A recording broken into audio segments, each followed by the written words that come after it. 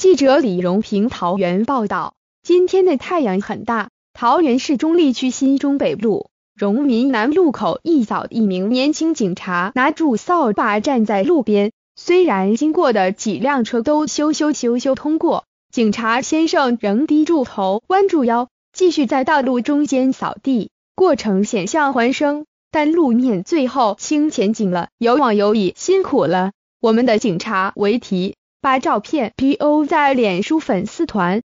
我是中立人。引起网友热议，直说玻璃是大人辛苦了，大家给辛苦的警察拍拍手，谢谢他们。但也有网友认为，好可怜的警察大人，为什么连一堆小事情都要做？原来扫地的市中立警分局仁爱派出所警员刘维红，今天上午八时二十八分获报前往中立区新中北路荣民南路口处理车祸。当时陈庆女骑士的机车由荣民南路直航往龙岗方向，不慎与史庆女车主所驾自小客车由荣民南路左转往新中北路方向发生擦撞，陈女脚部受擦伤送医后并无大碍，双方均无酒驾情事，只是使女自小客车玻璃因撞击震动碎了满地。时值上班时间，后方车辆较多。基于可能会造成其他车辆爆胎风险，